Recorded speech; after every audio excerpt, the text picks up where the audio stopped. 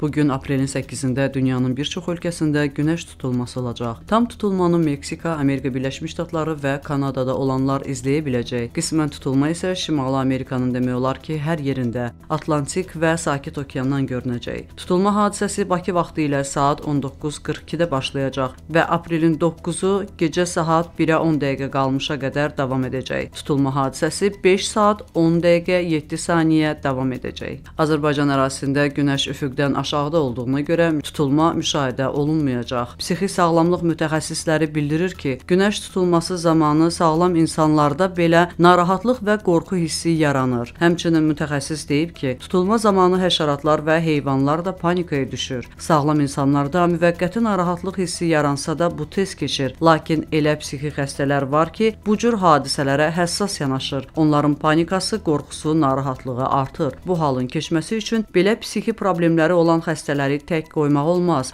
Onlar yaxınları ilə sıx ünsiyyətdə olmalıdırlar.